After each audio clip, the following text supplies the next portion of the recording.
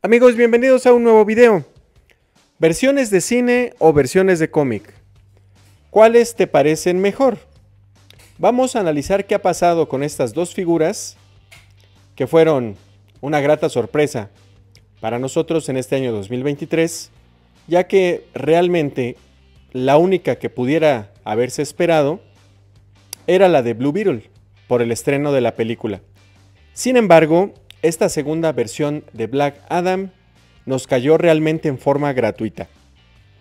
Vamos a ver que en, este, en esta comparativa ocurrió algo muy peculiar, ya que Mattel fue la primera en lanzar la versión de Blue Beetle dentro de las figuras de Justice League Action, ya en el lejano año 2013-2014, mientras que la versión de cómic de Black Adam fue lanzada en el 2023 y viceversa. La versión cinematográfica de Blue Beetle corresponde al presente año 2023, siendo que la versión de Black Adam del universo cinematográfico de DC fue lanzada con anterioridad, es decir, el año 2022.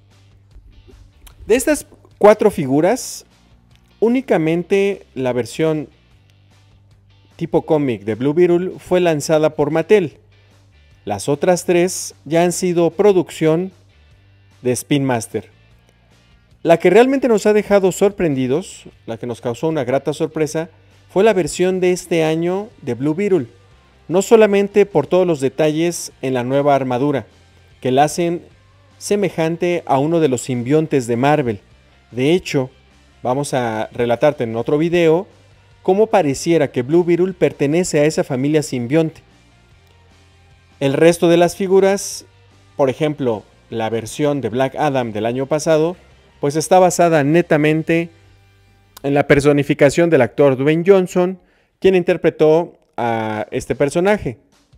Mientras que nosotros seguimos insistiendo y de hecho vamos a hacer en otro video una comparativa de que la versión tipo cómic de Black Adam de este año 2023 se parece mucho a Namor.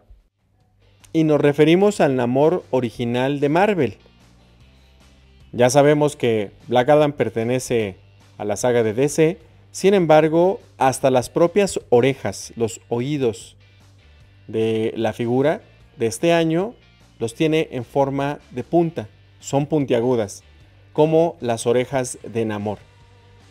¿Qué te parecen estas versiones? ¿Tienes alguna en tu colección? ¿Cuál es la que te falta? No olvides dejarnos todos tus comentarios, suscribirte al canal y por supuesto darle like al video.